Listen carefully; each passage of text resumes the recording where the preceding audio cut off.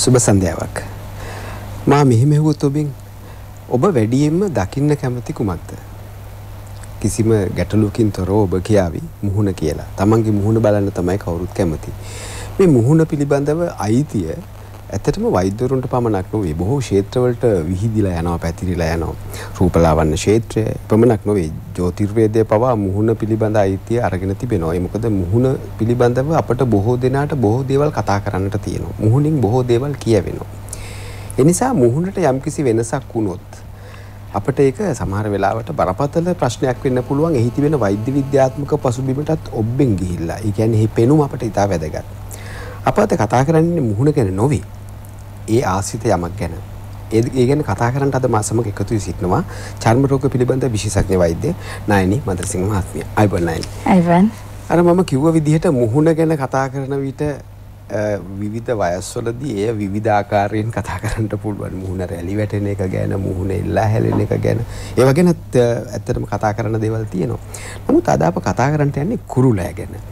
කුරුලෑ කියන දෙය අත්විඳ නැති තරුණ විය පසු කරපු කෙනෙක් නැහැ. එහෙම කිව්වොත් මා හිතන්නේ නිවැරදි. නිරෝගී හැම කෙනෙකුටම කුරුලෑ ඇති වෙනවා. ඒක රෝගයක් කියලා අප කීවත් ඒක එක්තරා ආකාරයක නිරෝගී භවයේ ලක්ෂණයක්වත් කියන්නට පුළුවන්. මොකද තමන්ගේ හෝමෝන ක්‍රියාකාරීත්වය ආදී විවිධ දේවල් නිසා මේ ඇති වෙන්න පුළුවන්. නමුත් අපි එහෙම නොකිය මේ කුරුලෑ පිළිබඳ කතාව පටන් ගමු කොතනින් හරි.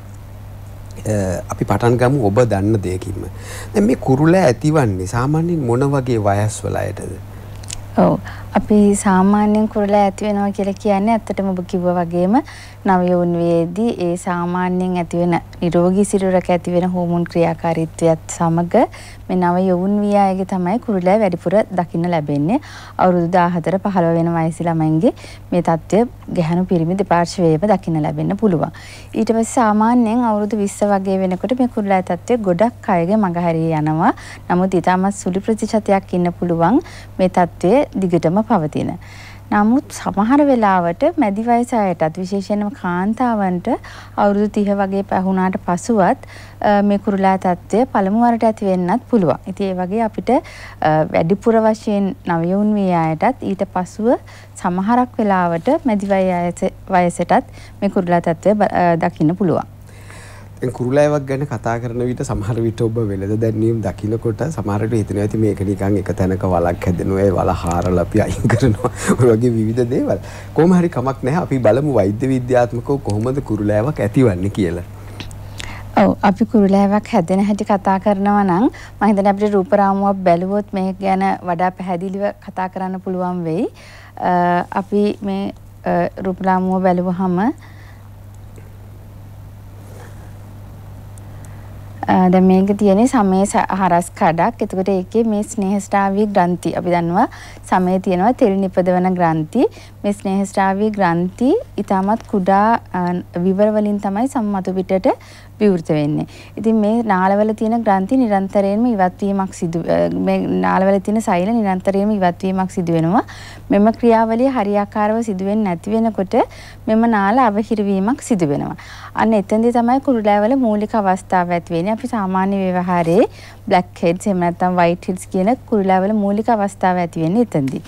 ඊට පසු මෙම ග්‍රන්ථිවල ඇතිවන ස්නේහය මතතම් තෙල් සහිත තරලය එකතු වීමක් සිදි වෙනවා. එතකොට මේක හොඳ මාධ්‍යයක් වෙනවා බැක්ටීරියා ක්‍රියාකාරීත්වයට. එතෙන්දි මේ ඇතිවන බැක්ටීරියා ක්‍රියාකාරීත්වය සමග ඇතිවන ආසාත්මික ආසාදනයත් සමග මෙම ග්‍රන්ථි තවත් ලොකු වෙලා විශාල කුරුලෑවක් බවට පත් වෙන්න පුළුවන්. ඉතින් සාමාන්‍යයෙන් තෙල් සහිත සමක් තියෙන කෙනෙකුගේ මේ ලක්ෂණය බහුලව දකින්න පුළුවන්. ඒ වගේම මේ ස්නේහ ස්නායු ග්‍රන්ථිවල තියෙන අධික්‍රියාකාරීත්වය සහ සමහර හෝමෝන් වලට තියෙන සංවේදීතාවය වැඩි වීම නිසා මේ විදියට මෙම ක්‍රියාවලිය පටන් ගන්න පුළුවන්. දැන් එතකොට කුරුලෑවල දැන් ස්වභාවය ගැන ඔබ දන්නවා දැකලා ඇති කුරුලෑව කොයි වගේද කියලා. නමුත් ඔබ කිව්වා බ්ලැක් හෙඩ් ගැන, වයිට් හෙඩ්ස් ගැන. ඒ වගේම සැරව වගේ පිරුණු සැරව ගෙඩි පිළිබඳව අප දැකලා තියෙනවා. දැන් කුරුලෑවක් සාමාන්‍යයෙන් කොහොමද පේන්නේ? කොයි වගේ ස්වභාවයක් පරාසයක් තුර කුරුලෑව දිස් වෙන්න පුළුවන්ද? ඔව් අපි ඒකත් අපි බලමු දැන් මේ පින්තූරේ පෙන්වන්නේ කුරුලෑවල මූලික අවස්ථාව. අපි අර කලින් කිව්වා වගේ බ්ලැක් හෙඩ් සහ වයිට් හෙඩ්ස් කියන එක. එතකොට බ්ලැක් වයිට් හෙඩ්ස් කියන එක ඇත්තටම සමේ ඊ타ත්ම කුඩා ගෙඩියක් විදියට මතුවෙන්නේ. ඒක සමේ පාටම වගේ ගන්න පුළුවන්. ඊළඟට බ්ලැක් හෙඩ්ස් කියන එක කළු පැහැති පැහැතිවට තමයි දිස් වෙන්නේ. ඊළඟට මේක තව ටිකක් එතන ඒ බැක්ටීරියා ක්‍රියාකාරීත්වය වැඩි වෙනකොට අපිට සාමාන්‍යයෙන් සම මතු පිට තියෙන රතු පැහැති එහෙම නැත්නම් කහ පැහැති සැරව පිරිච්ච බිබිලි විදියට මේ කුරුලෑ තත්ත්වය මතුවෙන්න පුළුවන්. ඊටත් වඩා තත්ත්වය බැරෑරුම් වෙනකොට ඇත්තටම මේ වගේ ඊටමත් විශාල ගෙඩි අපි මේකට නඩියුල සිස්ටික් ඇක්නි කියලා කියනවා. අන්න ඒ වගේ ගෙඩි විදියට දකින්න පුළුවන්. ඇත්තටම අපි කුරුලෑ ගැන කතා කරනකොට ඒ කියන්නේ මෙහෙදී ගොඩක් වෙලාවට මේ මේ එක එක අවස්ථාවල එකතුවක් තමයි කෙනෙකුගේ මුහුණේ දකින්න ලැබෙන්නේ. ඒ කියන්නේ එක එක අවස්ථාවක තියෙනවට වැඩිය විවිධ අවස්ථාවල තියෙන කුරුලෑ වර්ග එක සැරේට මුහුණේ තියෙන්න පුළුවන්. ඒ වගේම තවත් සමහර වෙලාවට කැලලි තත්වයකුත් මේ එකම තියෙන්න පුළුවන්. එතකොට දැන් ඔබ මුලදී සඳහන් කරා කුරුල ඇතිවීමට මේ හෝමෝන ක්‍රියාකාරීත්වය බලපානවා කියලා. තවත් හේතු තියෙනවද කුරුල ඇතිවන්න? ඔව් දැන් මුලදී අපි ඇත්තටම කතා කරේ ස්වභාවිකවම ඒ කියන්නේ වර්ධනයත් සමග ඇතිවන ස්වභාවිකව ඇතිවෙන හෝමෝන් ක්‍රියාකාරීත්වයේ වෙනස නිසා කුරුල ඇති වෙන්න පුළුවන් කියන එක. ඊට අමතරව විවිධ හෝමෝන රෝග සමහර වෙලාවට මේ සඳහා බලපාන්න පුළුවන් විශේෂයෙන්ම කාන්තාවන්ට ඩිම්බකෝෂ ආශ්‍රිතව ඇතිවෙන පොලිසිස්ටික් ඕවේරියන් ඩිසීස් කියන රෝගී තත්ත්වය තියෙන කෙනෙකුට විශාල වශයෙන් කුරුලා ඇති වෙන්න පුළුවන්. ඉතින් මේ වගේ රෝගී තත්ත්වයක් තියෙන කෙනෙකුට කුරුලා වලට අමතරව හිස කෙස් තුනී වීම, මුහුණේ අධික ලෙස රෝම වැවීම, මාසික උසප් චක්‍රීය ක්‍රමිකතා මේ වගේ විවිධ දේවල් විවිධ අනිකුත් රෝග ලක්ෂණ තියෙන්න පුළුවන්. ඒ වගේම තවත් සමහර හෝමෝන් වර්ගවල අධිශ්‍රාවයක් තියෙනවා නම් මේ වගේ කුරුලා තත්ත්වයක් ඇති වෙන්න පුළුවන්. ඊළඟ තවත් හේතුවක් ගැන කතා කරොත් අපි මුහුණේ ගල්වන ආලේපන මම හිතන්නේ විශේෂයෙන්ම මැදි වයස වගේ එනකොට කුරුලා හැදෙන්න තියෙන ප්‍රධාන හේතුවක් වෙනවා මේ මුහුණේ ගල්වන ආලේපන විශේෂයෙන්ම තෙල් සහිත සමක් තියෙන කෙනෙක් ඉතාමත් පරිස්සම් වෙන්න ඕන අපි මොනවද මුහුණේ ගන්න කියන එක. මොකද අපේ මේ ස්නේහස්රාවී ග්‍රන්ථි සම මතට විවෘත වෙන විවර මේ මාලේපන වර්ග වලින් වැහි යෑමක් සිදු වෙනකොට මෙම කුරුලා තත්ත්වය ඇති වෙන්න පුළුවන්. ඒ වගේම තවත් සමහර වෙලාවට අපි ගන්න ශරීර අභ්‍යන්තරයට වෙන යම් රෝගයකට ගන්න ඖෂධ වර්ග නිසා වුණත් ඒකේ අතුරු ප්‍රතිඵලයක් විදියට මුහුණේ හෝ පපුව ප්‍රදේශය හරි පිටේ හරි කුරුලා ඇති වෙන්න පුළුවන්. ඔව් ඇත්තටම මේකේ බොහොම විවාදාත්මක ඒ වගේම සංවේදී දේවල් තිබෙනවා අපට කතා කරන්න. ඔබ රැඳී සිටින්න අප කෙටි විරාමයක් ලබා ගන්නවා. මේ කතා කරන මාතෘකාවේ තියෙන විවිධ විවාදාත්මක බව නිසා මට හිතෙනවා විවිධ දේවල් අහන්න මම බොහොම පරිස්සමින් අහන්නම්. නමුත් මා මේ නොකියාම බෑ අපේ කාන්තාවන් සාමාන්‍යයෙන් මේ වෙළඳ දැන්වීම විශ්වාස කරන රටක අපි ඉන්නේ. ඉතින් ඒකයි ලොකුම ප්‍රශ්නේ මම හිතන්නේ මේ අපිට මෙහෙම කතා කරන්න වෙලා තියෙන්නේ ඒක වෙන්න පුළුවන්. දැන් අපි පටන් ගමු මේ ප්‍රශ්නවල මොනවද තියෙන ගැටලු කියලා. එකක් තමයි ආහාර. දැන් මේ ආහාර සහ කුරුලෑ අතර සම්බන්ධයක් තියෙනවද? ඔව් ඒක ඇත්තටම හැම කෙනාටම නෙවෙයි සමහරුන්ට අපි දන්නවා ශරීරයේ සීනි මට්ටම ඉක්මනින් වැඩි කරන ආහාර, ඒ කියන්නේ පැණි රහ ආහාර වලින් කුරුලෑ තත්ත්වය වැඩි වෙන්න පුළුවන්. ඒ වගේම කිරි ආහාර වැඩිපුර ගත්තොත් කුරුලෑ තත්ත්වය වැඩි වෙන්න පුළුවන්. මම හිතන්නේ ගොඩක් අයගේ විශ්වාසය තියෙන තෙල් සහිත කෑම කනකොට කුරුලෑ වැඩි වෙනවා කියලා. ඊට වැඩිය මේ ඒක නෙවෙයි ඇත්තටම ඇත්ත තත්ත්වය මේ හයි ග්ලයිසීමික් ඉන්ඩෙක්ස් තියෙන කෑම සහ කිරි ආහාර වලින් සමහරුන්ට කුරුලෑ තත්ත්වය වැඩි වෙන්න පුළුවන්. දැන් අපේ රටේ තියෙන තව ප්‍රශ්නයක් මම අහන්නේ දැන් අපේ රටේ තියෙන ගැටලුවක් තමයි කාන්තාවන් සුදු වෙන්න හරිම ආසනේ. දැන් මේක වෙළඳ භාණ්ඩයක් බවට පත් වෙලා අර බ්ලැක් බියුටිලා ඉන්න කැමති නැති රටක්. අපි කළු පාට ලස්සනයි කියලා පිළිගන්න බැරි රටක අපි ජීවත් වෙන්නේ. අපි උපත්තියෙන් කළු පැත්තට බර වුණාට. ඒ නිසා මේ ප්‍රශ්නේ අහන්නේ. දැන් සුදු පාට වෙන්න ගන්න ක්‍රීම් වර්ගවල ආලේපනවල සහ කුරුල අතර සම්බන්ධයක් තියෙනවද? ඔව් ඇත්තටම මම හිතන්නේ අද ගොඩක් වැදගත් ප්‍රශ්නයක් ඒක. මොකද අපි දන්නවා දැන් සුදු පාටට ගාන සමහර ක්‍රීම් වර්ග ඇත්තට මේක හරිනම් ඒක මේ වගේ දේවල් වෙළඳපොලේ තියෙන්න බෑ. නමුත් ගොඩක් වෙලාවට වෙළඳපොලේ තියෙනවා මේ මිශ්‍ර කරලා හදපු ක්‍රීම් වර්ග. ඉතින් එතෙන්දී අපි දන්නවා සමහර වෙලාවට අපි වෛද්‍යවරුන් විසින් භාවිතා කරන ඖෂධයක් තියෙනවා ස්ටීරොයිඩ් කියන එක. ඒක ඇත්තටම අපි ඉතාමත් පරිස්සමින් විශේෂයෙන්ම මුහුණ වගේ තැන්වලට අපි ඒක ඉතාමත් පරිස්සමින් කෙටි කාලයකට විතරක් දෙන දෙයක්. නමුත් මේකේ අතුරු ප්‍රතිඵලයක් විදියට සුදු වෙන්න පුළුවන්. ඉතින් එතකොට මේ සමහර වයිට්නින් ක්‍රීම්ස් වල සමහර විට පිට රටින් වල එන දේවල් වෙන්න පුළුවන් ලංකාවේ මිශ්‍ර කළා දෙන ක්‍රීම් වර්ග වෙන්න පුළුවන් අන්න ඒ වගේ දේවල් වල සමහර වෙලාවට මේ ස්ටීරොයිඩ් කියන එක අන්තර්ගත වෙලා තියෙනවා. අන්න එහෙම අන්තර්ගත වෙනාම සුදු වෙන එකත් වෙනවා ආතුරු ප්‍රතිඵලයක් විදියට. ඒ වගේම තමයි මුහුණේ කුරුලා ඇති වෙන්නත් පුළුවන් මේ ස්ටීරොයිඩ් කියන ඖෂධයේ අතුරු ප්‍රතිඵලයක් විදියට. ඉතින් මම හිතන්නේ චර්ම රෝග වෛද්‍යවරුන් විදියට අපි බහුලතවම දකින ප්‍රශ්නයක් තමයි මේ සුදු වෙන්න යන ක්‍රීම් ගාලා ඊට පස්සේ කුරුලා එක්ක අපි ගාවට එන එක. ඔව් මං හිතනවා අපේ මූණ තියෙන විදිහට තියෙන අරින එක වඩා හොඳයි කියලා. මොකද සුදුුණයි කියලා ඇති වෙන අමුතු ලස්සනකුත් නැහැ කියලා මට පෞද්ගලිකව හිතෙන්නේ. කොහොම හරි අපි එතනින් පොඩ්ඩක් මදක් බැහැරට ගිහිල්ලා අපි කතා කරමු තරමක් වෛද්‍ය විද්‍යාත්මක කරුණක් ගැන. දැන් කුරුලෑ සඳහා මොනවද තියෙන ප්‍රතිකාර? ඔව් කුරුලෑලන් සඳහා ඇත්තටම විවිධ ප්‍රතිකාර වර්ග තියෙනවා. ඇත්තට මේ කුරුලෑ ප්‍රතිකාර තම තමන්ගේ කුරුලෑ තියෙන ප්‍රමාණය හැටියට සහ සමය හැටියට වෙනස් වෙනවා. ඒක සමහර විට ඉතාමත් මද වශයෙන් තියෙනවා නම් ආලේපන වර්ගයක් විතරක් වෙන්න පුළුවන්. තවත් සමහර වෙලාවට ඊට වඩා වැඩි අවස්ථාවක් තියෙනවා නම් ශරීර අභ්‍යන්තරයට ගන්න ඖෂධ අවශ්‍ය වෙන්න පුළුවන්. ඒ ඖෂධ වර්ගත් විවිධාකාර වෙනවා. ඒ කියන්නේ ප්‍රතිජීවක ඖෂධ වෙන්න පුළුවන්. එහෙමත් නැත්නම් දැන් හෝමෝන් ප්‍රශ්නයක් තියෙනවා නම් හරි ඒ වගේ දෙයක් සැක කරනවා නම් හෝමෝන් ඒ ප්‍රශ්නට අදාළව හෝමෝන ආශ්‍රිත ඖෂධ වර්ග වෙන්න පුළුවන්. ඒ වගේ එක එක පුද්ගලයාගේ තියෙන කුරුලෑව තියෙන ප්‍රමාණය සහ ඒ තියෙන අදාළ අනිත් ප්‍රශ්න වලට අනුගතව අපි ඖෂධ නිකුත් දීමක් සිදු කරනවා. ඔව් දැන් අයි ඖෂධ ගන්නකොටත් ප්‍රශ්නයක් තියෙනවනේ දැන් අපේ හැමෝටත් සමහර වෙලාවට රෝගීන් එනවා ඇවිල්ලා කියනවා දැන් මම මේ බෙහෙත් වර්ගේ පාවිච්චි කරා පාවිච්චි කරන එකක් හොඳයි භාවිතා කරන එකක් හොඳයි තමලට ආයි එනවා කියලා. දැන් මේකට අපි කොමක්ද කරන්න ඕන? අපිට දීර්ඝ කාලිනව මේ බෙහෙත් පාවිච්චි කරන්න පුළුවන්. එහෙම පාවිච්චි කරන්න පුළුවන් සමහර ප්‍රතිජීවක හෝ ආලේපන වර්ග තියෙනවද? ඔව් ඇත්තටම දැන් කුරුල්ලෑ සඳහා ප්‍රතිකාර කරනකොට කෙනෙක් බලාපොරොත්තු වෙන දේවල් දෙකක් තියෙනවා. එකක් තමයි ඊටමත් ඉක්මනින් ප්‍රතිඵල බලාපොරොත්තු වෙන. ඉතින් ඇත්තටම කුරුල්ලෑ කියන දෙයට අපි ප්‍රතිකාර පටන් ගත්තාම සාමාන්‍යයෙන් අපිට ප්‍රතිඵලයක් දකින්නත් මාසයක් මාසයක හමාරක් වගේ කාලයක් යනවා. සතියකින් දෙකකින් අපිට ප්‍රතිඵල ලබා ගන්න බෑ. ඒ වගේම තමයි ඔබ කිව්වා වගේ සමහර වෙලාවට මේ බෙහෙත් ඇත්තටම අපි අඩුම ගණනේ අපි කියන්නේ මාස 4ක් 6ක් වගේ දක්වා කාලයක්. භාවිතා කරන්න වෙනවා. ඒක ඇත්තටම වෛද්‍යවරයෙක්ගේ අනුදැනුම ඇතුව ඒ උපදෙස් පිළිපදමින් භාවිතා කිරීම වැදගත් වෙනවා. මොකද ගොඩක් වෙලාවට අපි මුලදී පටන් ගන්න දැන් අපි ප්‍රතිජීවක ඖෂධ වගේ දේවල් මුල් කාලේ භාවිතා කරාට ඊට පස්සේ ඒවා යම් කිසි කාලයකට පස්සේ ඒක නවත්තලා ක්‍රීම් වර්ගයක් විතරක් දෙන්න පුළුවන්. ඒ වගේ ඒ ඒ තියෙන අවශ්‍යතාවයට අනුව තමයි ඒ ප්‍රතිකාර සිදු කරන්නේ. ඉතින් ඒ විදියට දිගින් දිගටම ටික මාස කීපයක් මේ ප්‍රතිකාර කළ යුතුව තියෙනවා.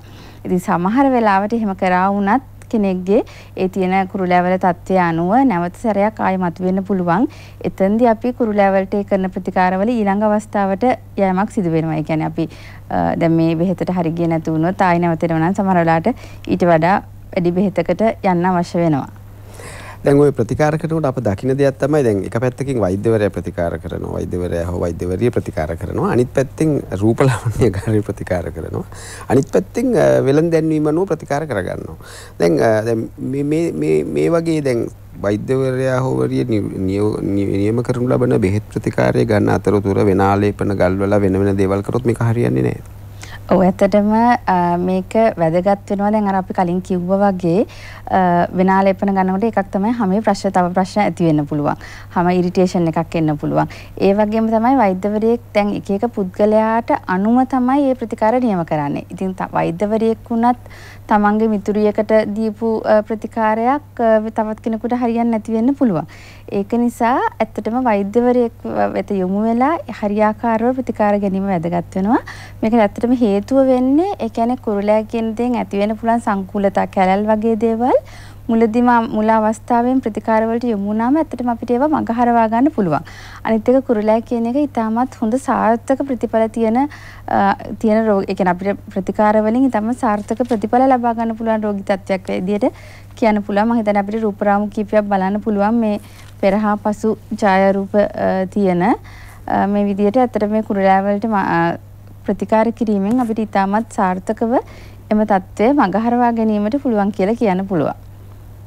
ඔව් දැන් මෙතන වැදගත් දේ මම හිතන්නේ අර කැලැල් ඇති නොවෙන්න සකස් කර ගැනීමනේ. මුල අවස්ථාවේ මොකද කුරුලෑවකට අපේ චර්මයට හානියක් වෙනකොට එතෙන්දි ස්ථිර වශයෙන්ම වෙන හානිය නිසා කැලලක් කියන වලවල් වගේ තත්වයක් ඇති වෙන්න පුළුවන්. ඉතින් මුල් අවස්ථාවේම ප්‍රතිකාර සඳහා නැඹුරු වීමෙන් අපිට මේ වලවල් ඇති වෙන අවස්ථාව මගරවා ගන්න පුළුවන්. එහෙම නැත්නම් චර්ම රෝග වෛද්‍යවරුන්ගේ වැඩ වැඩි වෙනවා. දැන් ඔවුන්ට මේ කැලල් අයින් කරගන්න මේ ඊට පස්සේ වෙන ලේස ප්‍රතිකාර වගේ වෙන දේවල් කරන්නට කරන්න සිදු. වෙනවා. ඇත්තටම කැලල් වලට ප්‍රතිකාර කිරීම අමාරුයි කියන්න පුළුවන්. අපිට ඒවටත් ප්‍රතිකාර තියෙනවා. නමුත් කුරුලෑ වලට මුල් අවස්ථාවේ ප්‍රතිකාර කිරීම ඊට වැඩිය පහසුයි සහ සාර්ථකයි කියලා කියන්න පුළුවන්. දැන් ওই පෙති සහ ක්‍රීම් ගන්නවට වඩා වෙනත් ප්‍රතිකාරක් තියෙනවද? ඔව් සමහර වෙලාවට අපි කුරුලෑ තියෙන අවස්ථාවේ වුණත් කෙමිකල් පීලින් කියන අ, ප්‍රතිකාරය කරනවා. ඒකෙදි කරන්නේ අපි ර- රසායනික ද්‍රව්‍යයක් සම්මත පිටට ආලේප කිරීම. එතෙන්දී ඒ- එම ඒකත් ඇත්තටම ඖෂධ වර්ගයක් විදිහට හඳුන්වන්න පුළුවන්. ඒක නිසා කුරුලෑ ඉක්මනට අඩුවීම සහ සම මත පිට තියෙන ලප කැලල් අඩුවීමක් අ, සිදු වෙනවා. ඒක අපි දැන් විශේෂිත ප්‍රතිකාර වර්ගයක්. සාමාන්‍ය මේක නිකන් එහෙම නැතුවත් අයට කරන අවස්ථා තියෙනවද මම ওই පීලින් කියන කහලා තියෙනවා මේ කාන්තාව නිකන් ගිහිල්ලා එහෙම කරගෙන එනවා නෑ ඒ. කියන්නේ ඇත්තට මේ කෙමිකල් පීලින් කියන ප්‍රතිකාරය කුරුලෑ වලට පමණක් නෙවෙයි වෙනත් අවශ්‍ය අවශ්‍යතා සඳහා වෙනත් කැලැල් සඳහාත් වෙන ලප කැලලි අඩු කිරීමට ඊළඟට හැම ඇතිවන රැලි වැටීම් අඩු කිරීමට ඒ වගේ දේවල් වලට උනත් කරන්න පුළුවන්. එතෙන්දී අපි භාවිතා කරන සංයෝගය වෙනස් වෙනවා එක එක අවශ්‍යතාවය සඳහා. දැන් මෙහිදී කරන්නේ හැමේ තිබෙන මේ අපිචර්ම කොටසේ කොටසක් ඉවත් කරන්නේ. අයින් වෙලා යන එක සමේ තියෙන මැරුණුහම මැරුණුහම. අයින් වෙලා යන එක අපි කැලලි වලට වගේ කරනවා නම් ටිකක් ඊට වැඩිය ගැඹුරට ගිහිල්ලා චර්මය කියන අපි චර්මයට වඩා චර්මය කියන කොටසට දක්වාම යනවා. ඔව් එතකොට තරමක් බරපතල තත්වයකුත් නිර්මාණය නොවෙනවා නොවේ නේද? දැන් එතකොට හැම නිරාවරණය වෙනවා. ඒ කියන්නේ ගැඹුරු අවස්ථාවකට යනවා. ඇත්තටම අපේ හැමේ අපි කරන්නේ ගොඩක්ම ගැඹුරු දේවල් අපි ආසියාතික හැමේ කරන්නේ නැහැ. සුපර්ෆිෂල් සහ මීඩියම්. කියන එක විතරයි කරන්නේ. ඉතින් එතෙන්දී සමහර වෙලාවට පේන විදියටම හැමයෑමක් සිදු වෙන්න පුළුවන්. ඒ කියන්නේ අපිට දවස් 5ක් 6ක් විතර යනකම් ටිකක් අර හැම ආරක්ෂා කරගන්න ඔව්, සන්නහක ඒ එකක්. ස- හිරුවෙලින් හැම ආරක්ෂා කර ගැනීම ඒ කාලෙදී තමත් වැදගත් වෙනවා. ඔව් මම හිතන්නේ අපට වැඩා හොඳට ඔබ දන්නවා ඇති මේක. මොකද ඔබ මේ ගාන ආලේපන ගැන SPF ගැන දැන් මේවන් සාමාන්‍ය දේවල් කාන්තාවන්ට. ඉතින් ඒ නිසා මම හිතනවා ඔබට මේ පිළිබඳව අමුතුවෙන් අප කිව යුතු නැහැ. නමුත් ඒ වුණාට මේ අ, මම හිතනවා ඒක ගැනත් යමක් කියන්නට ඕන අපි අතුරු ප්‍රශ්නයක් විදිහට මේ මේ SPF වගේ ගැන යමක් කියන්නට පුළුවන්ද මේ ආලේපනවල සඳහන් වෙනවා මේක නිතරම. ඔව් ඇත්තටම SPF කියන එකෙන් අ, සඳහන් වෙන්නේ U ස- දැන් හිරුවෙලියේ තියෙනවා වර්ග දෙකක් UVA සහ UVB කියන එක. UVB වලින් තියෙන ආරක්ෂාව ගැන තමයි අ, SPF වගේන් සඳහන් වෙන්නේ. ඉතින් සාමාන්‍යයෙන් SPF වගය 30කට වඩා වැඩි සන් ක්‍රීම් එකක් භාවිතා කිරීම වැදගත් වෙනවා අ, හිරුවෙලියෙන් ආරක්ෂා වීමට නම්. දැන් අපේ හැමේ තිබෙන කෙරටින් ප්‍රමාණය ප්‍රමාණවත් වෙන්නේ නැහැ මේක ආරක්ෂා වෙන්න නේද? හැම වයසට යන වීම වීම වගේ දේවල් ඍජු හිරුවෙලියට බලපෑම නිසා ඇතිවෙන්නට පුළුවන් දෙයක්. ඔව් ඒ කියන්නේ සම වයසට සම ඒ කියන්නේ සම වයසට යන එක වගේ රැලි වැටෙනවා වගේ දේවල් අ, ඔව් ඒ කියන්නේ නිසා හිරු වලින් ඇති වෙන්න පුළුවන් ප්‍රධානතම දැන් ප්‍රශ්නයක් තමයි හැමේ වයසට යන ක්‍රියාවලිය වැඩිවීම. ඉතින් ඒකට ආරක්ෂාවක් විදියට අපි සන් ක්‍රීම් එකක් භාවිතා කිරීම වැදගත් වෙනවා. ඒ වගේම විශේෂයෙන් මේ වගේ ලේස හරි එහෙම නැත්නම් කෙමිකල් පීලින් වැනි ප්‍රතිකාරයක් කළොත් එතෙන්දී සමේ තියෙන යම් මට්ටමකට සෛල ඉවත් වීමක් සිදු වෙන නිසා අනිවාර්යයෙන්ම අ, සන් ක්‍රීම් ආරක්ෂණයක්. එකක් ආරක්ෂා වීමක් වැදගත් වෙනවා. තව තියෙනවා බොහෝ දේවල් කතා කරන්න ඔබ කැමති දේවල් සමහර විට මා කියන දේවල් වලට ඔබ අකමැති වෙනවද දන්නෙත් නැහැ. වුණත් අප මේ ගැන කතා කළ යුතුයි. ඊට පෙර කෙටි විරාමයක් ලබා ගන්නවා. අද වැඩසටහනේදී එක පැත්තකින් ඔබගේ වැරදි මත විශ්- විශ්වාසයෙන් සහ චර්යාවන් ගැන කතා කරන්නට වෙනවා. ඉතින් එතෙන්දී සමහර වෙලාවට අ, ඔබගේ හිත රිදෙන්නේ නැති වෙන්න කරන එක තමයි අපිට ඉදිරියේ තියෙන ප්‍රධානම අභියෝගය. ඒ ඒ වගේම අනිත් පැත්තෙන් අපට වෛද්‍ය විද්‍යාත්මක තොරතුරු කතා කරන්නත් අවශ්‍යයි ඔබ දැනුවත් කිරීම සඳහා. ඉතින් මේ දෙක අතර පරිස්සමින් අ, තුලනය කරගෙනයි වැඩසටහන කරගෙන යන්න වෙලා තියෙන්නේ. අ, දැන් අපි ඊළඟට තරමක් වෛද්‍ය විද්‍යාත්මක කරුණකට හැරෙමු. ඒ තමයි අ, දැන් කුරුල්ලා ඇති වුණාට පස්සේ විවිධ සංකූලතා ඇති වෙන්න පුළුවන් ඕනෑම රෝගයකදී වගේ මොනවද ඒ සංකූලතා? ඔව්. කුරුලෑ නිසා දැන් සමේ ඇති වෙන සංකූලතා වෙනවා. ඒ වගේම තමයි මානසිකව මම හිතන අපි ඒක ගැන විශේෂයෙන් කතා කරේ නෑ.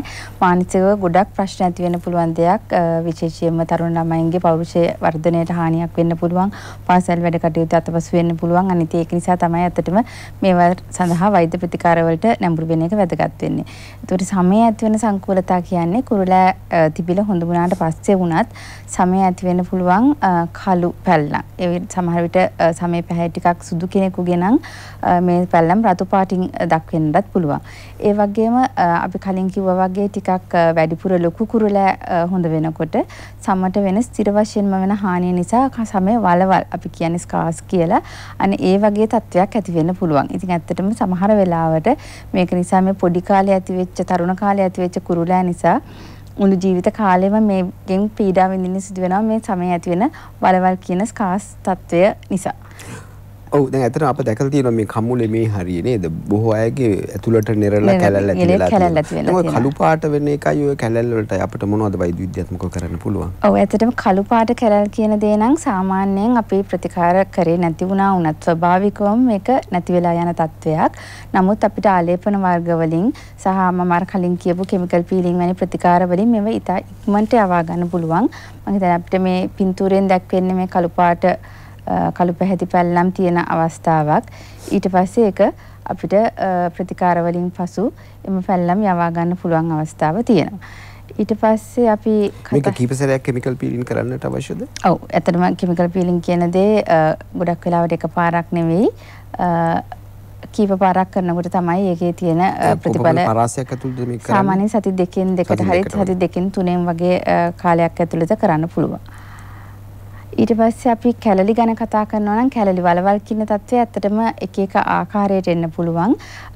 ඒ කියන්නේ ඒ එකම පුද්ගලයෙකු වුණත් මේ කැලලි විවිධාකාර තත්ත්වයකින් දකින්න ලැබෙන්න පුළුවන්. සමහර වෙලාවට ඉතාමත් ගැඹුරු කුඩා විවරයකින් මතුවෙන දේවල් එහෙමත් නැත්නම් ගැඹුරු විවරයක් ඇතුව ඇතුළට නිරපු විදියට මේ රූප සටහනේ දැක්වෙන විදියට දකින්න පුළුවන්.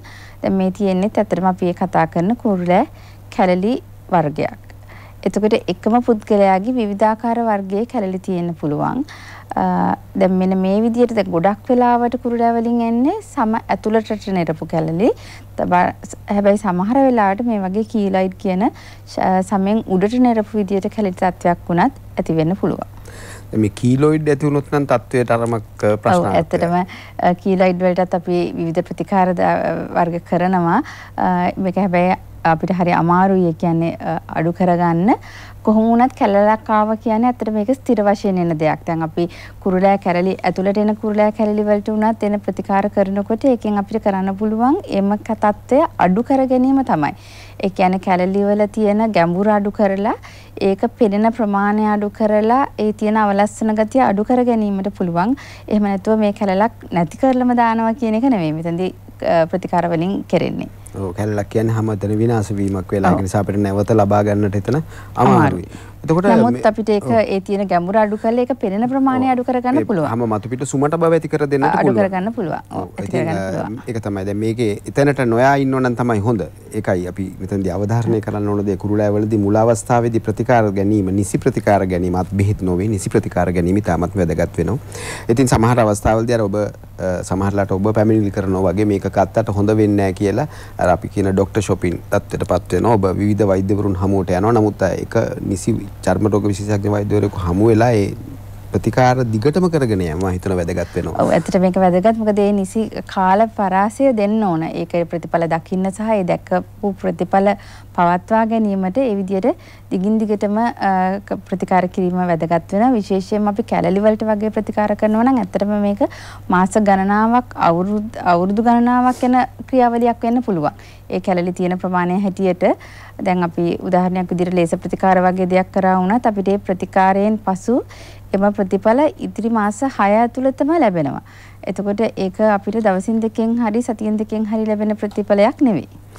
ඔව් දැන් කැලලි ගැන කතා කරනකොට ලේස ගැන කතා නොකරම බෑ. ඒකත් බොහොම ජනප්‍රිය ප්‍රතිකාරයක්. මං හිතන්නේ රූපලාවන්‍ය ක්ෂේත්‍රය පවා මේ භාවිතා කරනවා. මම දන්නේ නැහැ ඒක තරම් දුරට වෛද්‍ය විද්‍යාත්මකද කියලා. නමුත් එහෙම භාවිතා කරන බව අප දන්නවා.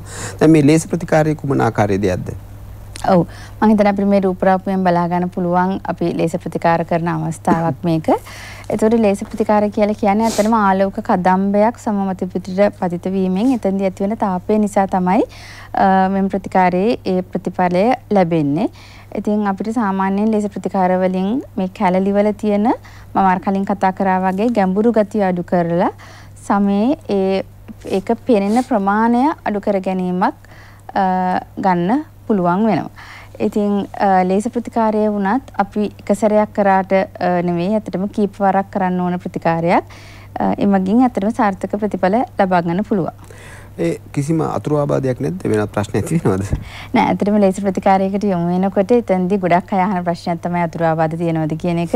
ඉතින් දැන් විශේෂයෙන්ම හැමේ දැන් මේ කුරුලෑ කැරලි වගේ දෙයකට අපි ලේසර් ප්‍රතිකාර කරනවා නම් මුලදීම එතන සතියක් විතර එතන රතු වෙලා ඊට පස්සේ හැම යෑමක් කියන්නේ හැම උඩින් ගැලවී යෑමක් වගේ දෙයක් සිදු වෙන්න පුළුවන්. ඉතින් ඒ සඳහා එම කරන කෙනා ඒ සඳහා සූදානම් වෙලා තියෙන්න ඕන විශේෂයෙන්ම රැකියාවෙන් සමහර විට සතියක් විතර නිවාඩු ගන්න අවශ්‍ය වෙන්න පුළුවන්. ඒ වගේම ඊට පසු හිරුවෙලියෙන් ආරක්ෂා වීම ඉතාමත් වැදගත් වෙනවා. මොකද නැත්තම් తాවකාලිකව සමේ කළු වීමක් ඇති වෙන්න පුළුවන්. ඉතින් ඒක නිසා මාසයක් දෙකක් වගේ කාලයක් තුලදම හිරුවෙලියෙන් ආරක්ෂා වීම මේ ලේස ප්‍රතිකාරයෙන් පසු ඉතාමත් වැදගත් වෙනවා. ඉතින් ඊට අමතරව ඒ කියන්නේ ගොඩක් අය බය වෙනවා දැන් මේ සමේ පිළිකා ඇති වෙන්න පුළුවන් ශරීර අභ්‍යන්තරයට හානියක් වෙන්න පුළුවන්. අන්න ඒ වගේ දීර්ඝ කාලීනව ඇති වෙන අතුරු ප්‍රතිඵලයක් ඇත්තටම නැහැ. ලේස ප්‍රතිකාර කියන දේ ඉතාමත් ආරක්ෂාකාරී විදියට ලබා ගන්න පුළුවන් නවීන ප්‍රතිකාරයක් කියලා කියන්න පුළුවන්. දැන් මේ ලේස ප්‍රතිකාරය රජයේ රෝහල් ලබා ගන්න පුළුවන්ද? ඇත්තටම සමහර රජයේ රෝහල් වලත් එක එක ඒ කියන්නේ ලේස කිව්වහම ඇත්තටම ලේස වලත් වර්ග කීපයක් තියෙනවා. එතකොට එක එක අවශ්‍යතා සඳහා ඒ කියන්නේ දැන් කුරුලෑ කැල්ලි වලට භාවිතා කරන ලේස වර්ගය නෙවෙයි හැමේ තියෙන අනවශ්‍ය රෝම ඉවත් කිරීමට භාවිතා වෙන්නේ. ඉතින් ඒ ඒ දේ සඳහා අවශ්‍ය වෙන ලේස වර්ග වෙනස් වෙනවා. සමහර රජයේ රෝහල් වල මෙම ප්‍රතිකාරය ඇත්තටම දැන් කෙරෙනවා මේ ලෙස ප්‍රතිකාරය. ඔව් දැන් ඒ හිදී ඔබ සඳහන් කළා මේක වාර කීපයක් ලබා ගැනීමට සිදු වෙනවා කියලා. ඉන්පසු එම කැලල නැවත ඇතිවීමේ හැකියාවක් නැහැ. නෑ ඇත්තටම එක ප්‍රතිකාරයකින් එන අපි කියන ඒ කැලල අඩුවීම ඒක එතන ස්ථිරයි. ඒක දිගට තියෙනවා. ඉතින් ඒක තමයි සාමාන්‍යයෙන් ඒ කියන්නේ දැන් මේක කුරුලෑ කැලලි වලට ප්‍රතිකාර කරනකොට කුරුලෑ තත්ත්වය හොඳටම සමනය වෙලා තියෙන්න ඕන. නැත්තම් කැලලි වලට ප්‍රතිකාර කරනකොට නැවත කුරුලෑ ආවොත් එතෙන්දී ආයතරයක් කැලලි ඇතිවීමක් සිදු වෙන්න පුළුවන්. ඉතින් ඒ වගේ කුරුලෑ කුරුලෑ ඇති වෙන තත්ත්වය හොඳටම සමනය වුණාට පස්සේ අපිට සාර්ථක විදියට කැලලි වලට ප්‍රතිකාර කරන්න පුළුවන්. දැන් ඒයින් මට හැඟ වෙනවා දැන් මේ කෙනෙකුගේ කුරුලෑ ඇති වෙමින් පවතින අවස්ථාවක කියන්නේ තරුණ වියේදී ඇති වෙමින් පවතිනකොට ලේස කරන්න බැරිකමක් තියෙනවද? එහෙම නැහැ. ඔව් ඇත්තටම කුරුලෑ ඇති වෙන අවස්ථාවේදී ලේසි ප්‍රතිකාර කරනවා කියන එක එතරම්ම සාර්ථක දෙයක් නෙවෙයි. ඊට වැඩිය එතෙන්දී අපි ශරීරයට අපි කලින් කතා කරපු වගේ ප්‍රතිකාර ඒ කියන්නේ ආලේපන සහ ඖෂධ වර්ග සහ කිමිකල් පීලින් වගේ දේවල් වලින් ප්‍රතිකාර කරලා ඊට පස්සේ කැලලි තත්වයට ලේස ප්‍රතිකාර වලට යන්න පුළුවන්. ඇත්තටම ලේස පමණක් නෙවෙයි කැලලි වලට ඒ කියන්නේ දැන් ලේස වගේ දෙයකට යොමු වෙන්න බැරි කෙනෙකුට වුණත් වෙනත් ප්‍රතිකාර කිමිකල් පීලින් කියන ප්‍රතිකාරය තියෙනවා. ඒ වගේම තව අපි සබ්සිෂන් කියලා ඒ කියන්නේ මේවා අර තන්තු වලින් මේ මේ කැලලි යටට ඇදගෙන සිටීමක් තියෙනවා. ඉතින් ඒවා මේ කඩල චුට්ටක් ඒවා බුරුල් කරලා කැලලි වල තියෙන ගැඹුර අඩු කිරීමක් සිදු කරනවා. ඒ වගේම තවත් වෙලාවට රුධිර පට්ටිකා සාන්ද්‍රණය ආශ්‍රිතව කරන ප්‍රතිකාර ඒ කියන්නේ එතෙන්දි වෙන්නේ හැමේ තියෙන අර කොලජන් කියන තන්තු වර්ගය වර්ධනය වීමක් සිදු වෙනකොට එතෙන්දි ඒ කුරුලෑ කැලලි වල තියෙන ගැඹුර අඩුවීමක් සිදු වෙනවා. ඉතින් ඒ වගේ ඇත්තටම කුරුලෑ කැලලි සඳහා එක ප්‍රතිකාර වර්ගයක් නෙවෙයි ප්‍රතිකාර වර්ග ගණනාවක් තියෙනවා. එක එක පුද්ගලයාගේ තියෙන කුරුලෑ කැලලි වල සැටි විදියට සහ එම පුද්ගලයාගේ ජීවන රටාව අනුව මොකද සමහරෙකුට මේ ලේස ප්‍රතිකාරයකින් පස්සේ සතියක් නිවාඩු දානවා කියන එක කරන්න අමාරු වෙන්න පුළුවන්. ඉතින් ඒ වගේ එක එක පුද්ගලයාට අනුව අපිට ප්‍රතිකාර විවිධාකාරව සිදු කරන්න පුළුවන්. ඔබ අර සඳහන් කරපු PRP ඔබ සඳහන් කරේ PRP කියන්නේ. PRP. ඔය එතකොට දැන් ඒක දැන් ඇත්තටම දැන් ටිකක් ජනප්‍රිය ප්‍රතිකාර ක්‍රමයක් බවට පත් වෙලා තියෙනවා. දැන් හන්දිව අමාරු වලට දැන් වෙනත් දේවල් වලට පවා මේ PRP පාවිච්චි කරනවා. මොකද එහි තිබෙන වර්ධක සාධක මම හිතන්නේ නේ. මගින් මේ හැම හැමට පවා ඒ උපකාරයක් කරගන්න පුළුවන්. ලංකාවේ භාවිතා කරනවා නේ. ලංකාවේ ඒක භාවිතා කරනවා. ඉතින් ඇත්තටම PRP ප්‍රතිකාරය ගොඩක් වෙලාවට ඒ කියන්නේ ගොඩක් රෝගීන් කැමති ප්‍රතිකාරයක් වෙනවා. මොකද එකක් තමයි ඒක තමන්ගේම රුධිරය භාවිතා කරන්නේ. එතෙන්දී ආසාත්මිකතාවයක් අතුරු ප්‍රතිඵලයක් ඇති වෙන තියෙන සම්භාවිතාවය ඉතාමත් ඉතාමත් අඩුයි. ඒ වගේම තමයි දැන් ලේස ප්‍රතිකාරයක් වගේ දෙයකින් වගේ නෙවෙයි. දැන් පෙරහා පසු සූදානමක් පෙරහා පසු ආරක්ෂා වීමක් එහෙම දෙයක් ඇත්තටම PRP ප්‍රතිකාරයත් සමග නැහැ. ඉතින් ඒක නිසා ඒක සමහර වෙලාවට අනිත් ප්‍රතිකාර වලට වැඩිය කෙනෙක් කැමති වෙන ප්‍රතිකාරයක් වෙන්න පුළුවන්. ඒ ප්‍රතිඵලත් හොඳයි. ප්‍රතිඵල හොඳයි. එතෙන්දි වෙන්නේ අර ඔබ කිව්වා වගේ රුධිර පට්ටිකාවල තියෙන වර්ධක සාධක නිසා හමේ තියෙන කොලජන් තන්තු වර්ගය වර්ධනය වීමක් ඇත්තටම දැන් අපි කුරුලෑ කැරලි ගැන කතා කරනකොට අපි හොඳම ප්‍රතිකාරය විදියට සලකන්නේ ලේසර් ප්‍රතිකාරය තමයි. නමුත් අපිට අනිත් ප්‍රතිකාරවල එකතුවකින් සමහර වෙලාවට ඉතාමත් සාර්ථක විදියට මෙම කැලලි අඩු කර ගැනීමක් කරගන්න පුළුවන්. ඔව් දැන් ඔබට පේනවා වෛද්‍ය විද්‍යාව දියුණු වෙලා තිබෙනවා. ඇත්තටම මේ දියුණු වෛද්‍ය ක්‍රම ලබා ගැනීමේ හැකියාවකුත් තිබෙනවා ඔබට.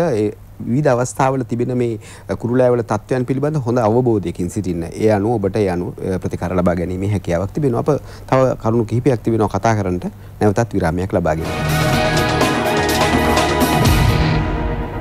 වැඩසටහන කරගෙන යන විට මැදිරිය තුලත් ඉන් පිටතත් බොහොම උනන්දුවක් ඇති වුණා කියලා අපට දැනගන්නට ලැබුණා PRP ගැන.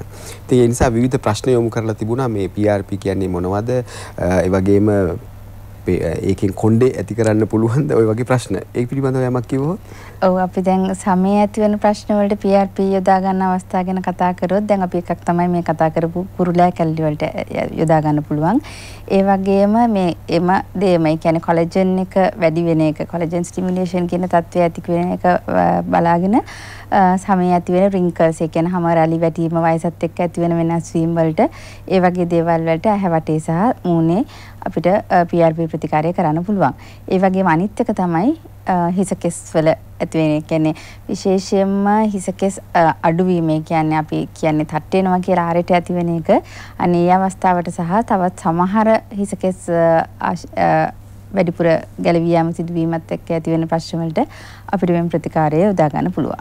ඔව් දැන් ඇත්තටම විවිධ විෂයන් ක්ෂේත්‍රයන් හරහා විවිධ ආකාරයේ වෛද්‍ය විද්‍යාත්මක අවස්ථාවන් සඳහා මේක යොදා ගන්නු ලබනවා. ඒක නිසා මම හිතන්නේ වෛද්‍ය විද්‍යාවේ දියුණුවක් විදිහට මේක සලකන්න පුළුවන්. ඒ වගේම මට හිතුණා බොහොම සරල ප්‍රශ්නයක් අහන්න මේ අන්තිම භාගේ. දැන් කුරුලෑ පිළිබඳ කතා කරන විට හැම කෙනාම කියනවනේ ඒ වගේම හැම කෙනාම ඒක පිළිපදින්නෙත් නැහැ. ඒක තමයි ඇත්ත. කුරුලෑ කඩන්න එපා කියනවා. හැබැයි කියන එක්කෙනාමත් තමන්ලට තරුණ කාලේ තමන් කුරුලෑ කඩලා තියෙනවා. ඉතින් ඒ නිසා මේ කුරුලෑ කැඩීම කියන එක හොඳයි. ඒ වගේම මට ඒ සමග මහන්න හිතුණා. දැන් සමහර අවස්ථාවලදී අර අර වලල්ලක් වගේ තියෙන එක මෙහෙම තියලා තද කරනවන්නේ කුරුලෑ. මම එහෙම දැකලා තියෙනවා සමහර රූපලාවන්‍ය ගාරවල සිදු කරනවා කියලා. දැන් ඒක හොඳයිද? ඒ කොමිඩෝන් එක්ස්ට්‍රැක්ෂන් කියන එක ඇත්තට මේක ඉතාමත් පරිස්සමට ඒ කියන්නේ ඒක හරියාකාරව වෙනවා නම් මොකද ඒ ඒ මූලික අවස්ථාව තමයි ඊට පස්සේ බ්ලැක් හෙඩ්ස් වලට කරන්නේ. ඒක ඒ මූලික අවස්ථාව තමයි ඊට පස්සේ විශාල කුරුලෑවක් විදියට වෙන්නේ. ඉතින් ඒක නිසා ඒක ඉතාමත් පරිස්සමට කරනවා නම් ඒක වැරද්දක් කියන්න බෑ. නමුත් එතෙන්දී සමහර වෙලාවට අපි දකින්න ගොඩක් වෙලාවට එතෙන්දී ඒක කරනකොට එතන ආසාද නැති වෙන්න පුළුවන්. ඒ වගේම හැමට ඇති වෙන හානිය වැඩි වෙන්න පුළුවන්. වයිට් හෙඩ් වලට ඒක කරන්න හොඳ නෑ ඒ දෙකට මේ කමිඩෝන්ස් වලට කරන්න පුළුවන්. එතෙන්දී අනිත් එක තමයි දැන් ඔය මිරිකලත් අයින් කරන එක කරන්නේ. ඇත්තටම අති මිරිකල. ඉතින් ඇත්තටම සාමාන්‍යයෙන් කුරුලෑවක් ආවහම ඒක ස්වභාවිකවම අඩු වෙන දෙන්න ඕන. එතකොට තමයි ඒ තියෙන හැමට ඇතිවන හානිය අවම කරගන්න පුළුවන් වෙන්නේ. එහෙම කරා වුණත් කලලක් ඇති වෙන්න පුළුවන්. නමුත් අපි ඒක අතපත ගන්න යෑමෙන් ඒක ඉක්මනට යවා ගන්න, මිරිකන්න, ඒ වගේ දේවල් කරන්න ගියාම ඒ හැමේ ඇතිවන తත්වය තවත් වැඩි වීමක් වෙලා කලලක් ඇති වෙන්න තියෙන chance එක වැඩිවීමක් තමයි ඇත්තටම මෙහෙදි සිදු වෙන්නේ. දැන් ඔබ සඳහන් කරන ආකාරයට දැන් එවැනි අවස්ථාවක කුරුලෑව තරමක් ලොකුයි නම් මේ සඳහා හොඳ වෙන්නේ නැති වගේ පේනවා නම් බෙහෙත් ප්‍රතිකාර ගැනීම තමයි සුදුසු වන්නේ. ඒකට ආලේපන බෙහෙත් වර්ග පාවිච්චි කරන්න පුළුවන්. දැන් ඔය ෆිසිඩිකම්ලේ වගේ දේවල් භාවිතා කරනවද නැත්නම් වෙනත් විශේෂිත ප්‍රතිකාර වර්ග තියෙනවා. ප්‍රතිජීවක ඖෂධ වර්ග භාවිතා කිරීමක් සිදු වෙනවා. ඉතින් ඇත්තට මේ වගේ අවස්ථාවක වෛද්‍ය ප්‍රතිකාර වලට යොමු වෙන එක තමයි වැදගත් වෙන්නේ. අපි ප්‍රතිකාර වල නම් කියනවට වඩා හොඳයි මම හිතන්නේ ප්‍රතිකාර තියෙනවා කියලා කියන එක. ඉතින් එවැනි ප්‍රතිකාර වලින් කුරුලෑ හොඳ කරගන්න පුළුවන්. ඒ වගේම කුරුලෑ ගැන කතා කරන විට අප මේ කතා කරේ මුහුණ ගැන විතරනේ එකම එක අවස්ථාවයි අපි පෙන්වුවේ අර පපුවේ කීලෝයිඩ්ස් ඇති වෙලා තියෙන එක. නමුත් කුරුලෑ රෝම කූප තියෙන ඕනම තැනක ඇති වෙන්න පුළුවන්. අල්ලෙයි පත්ලෙයි නැතුව නේද? ඔව්. ඇත්තටම විශේෂයෙන්ම පිට ප්‍රදේශයේ එහෙම නැත්නම් පපුව ප්‍රදේශයේ ගොඩක් වෙලාවට මුහුණට අමතරව කුරුලෑ වැඩිපුර දකින්න ලැබෙන ස්ථාන විදිහට හඳුන්වන්න පුළුවන්. ඒ වගේම තමයි තවත් සමහර වෙලාවට බෙහෙතක් නිසා ඇතිවන කුරුලෑ තත්ත්ව විශේෂයෙන්ම මේ වගේ ස්ථානවල වැඩිපුර ඇති වෙන්න ප්‍රවණතාවයක් තියෙනවා. කුරුලෑ එක තැනක තියෙනකොට බෝ වෙනවද අනිත් තැන් වලට? නෑ. කුරුලෑ වල බෝ වීමක් සිදු වෙන්නේ නෑ. ඒ වගේම තමයි තව මේකත් එක්කම තියෙන මිත්‍යාවක් මම කියනනම් ගොඩක් අය හිතනවා මේ කුරුලෑ හැදෙන්නේ අපිරිසුතාවය නිසා කියලා. හැමේ තියෙන අපිරිසුතාවය නිසා කියලා නිතර නිතර මුණ සෝදන්න යනවා සබන් පාවිච්චි කරමින් ඊටමත් අර ඇත්තටම එතකොට වෙන්නේ දැන් කුරුලෑවක් එක්ක අපේ හැමේ තියෙන සාමාන්‍යයෙන් තියෙන ආරක්ෂාකාරී බව නැති වෙලා නිතර නිතර හොදන එකෙන් තවත් සමීරිටේට් වෙන්න පුළුවන් විශේෂයෙන්ම කුරුලෑවලට ගාන ආලේපන එක්ක ඉතින් ඒක නිසා මේක අපිරිසුදුතාවය නිසා ඇති වෙන සත්‍යයක් නෙවෙයි කියලත් කියන්න ඕන. දැන් කුරුලෑ ගැන කතා කරන විට වෙළඳ පොලේ විවිධාකාරය ආලේපන තියෙනවා මේක සංවේදී ප්‍රශ්නයක්. අපි මේ ආලේපන භාවිතා කිරීමේදී කුරුලෑ තියෙන කෙනෙක් නිසි ආකාරයෙන් ආලේපන ලබා ගැනීම කළ යුත්තේ කොහොමද? ඒ කියන්නේ වෙළඳ පොලේ වෙළඳ පොලෙන් අපිට ගිහිල්ලා කුරුලෑ වලට බෙහෙතක් විදිහට ලබා ගන්න පුළුවන්ද? ඔව් ඇත්තටම ඒක මට උත්තර දෙන්න ටිකක් අමාරු ප්‍රශ්නයක්. මොකද අපි කතා කරන්නේ වෛද්‍ය විද්‍යාත්මකව දෙන ආලේපන පිළිබඳව. ඉතින් ඇත්තටම ඒ ආලේපන නම් Tamanට ඕන විදියට ෆාමසි එකකින් ගන්න එක අනුමත කරන්න බෑ. නමුත් වෛද්‍යවරයෙක් හමු වෙලා ඒ Tamanට සුදුසු ආකාරයට වෛද්‍යවරයාගේ උපදෙස් ඇතුව භාවිතා කරන එක තමයි ඉතාමත් වැදගත් වෙන්නේ. ඔව් අපිට තව විනාඩියක් පමණ තිබෙනවා අවසානයේදී ඔබට කියන්නට තිබෙන්නේ කුමක්ද ජනතාවට කුරුලෑ සම්බන්ධව? ඔව් ඇත්තටම අවසාන වශයෙන් කියන්න තියෙන අපි කලින් කතා කරපු දෙයක් තමයි කුරුලෑ කියලා කියන්නේ. ඔබ ඒකෙන් පීඩා විඳිය යුතු රෝගී තත්වයක් නෙවෙයි. ඒකට ඉතාමත් සාර්ථක ප්‍රතිඵල තියෙනවා. ඒ වගේම මේ ප්‍රතිකාර කිරීමෙන් එම தත්ත්වය කියන්නේ මගහරවා ගන්න පුළුවන්. තමන්ගේ හිතුමතේට බෙහෙත් ගන්නේ නැතුව මේ සඳහා වෛද්‍ය ප්‍රතිකාරවලට නැඹුරු වෙලා ඉතාම සාර්ථක ප්‍රතිඵල ලබා ගන්න පුළුවන් කියන එක මතක් කරන්න කැමතියි. එසේනම් ස්තුති නයනි ඔබට අද අප කතා කරේ කුරුලෑ ගැන. ඔබට බහුලව ලැබෙන බහුලව දකින්නට හම්බෙන අත්විඳින මාතෘකාවක් පිළිබඳව. ඉතින් මේ මාතෘකාවේ විවිධ දේවල් තිබෙනවා. අප කතා කළ සහ කතා නොකළ. ඒ නිසා මේ සියල්ලම ප්‍රවේශමින් නුවණින් යුතුව විමසා බලා ජීවත් වෙන්න මේ හැම විටම වෛද්‍ය විද්‍යාත්මක තොරතුරු වලදී වැදගත් වෙනවා. ඔබ වටා තිබෙන ඔබ වටා ගොඩනැගෙන විවිධ දේවල් පිළිබඳව ඒවාට හසු නොවි බොහොම ප්‍රවේශමෙන් ඔබගේ තීරණය ගැනීම ඉතා වැදගත්. විශේෂයෙන්ම කුරුලෑවලදී ඔබගේ හැම වෙළඳ භාණ්ඩයක් සහභාගයක් වෙන්නට ඉඩ දෙන්නට එපා. ඉතින් එසේනම් එම සටහනත් සමග අද වැඩසටහන් නිමා කරනවා. අද අප සමග එකතු වූයේ චර්ම රෝග පිළිබඳ විශේෂඥ වෛද්‍ය නයනි මන්ත්‍රසිංහ මහත්මිය. එසේනම් අප නැවතත් ලබන සතිය ඔබ සමග මේ තීරය තුලින් එකතු වෙනවා. ඔබ සැමට සුවදායක සතියක්. ආයිබෝවන්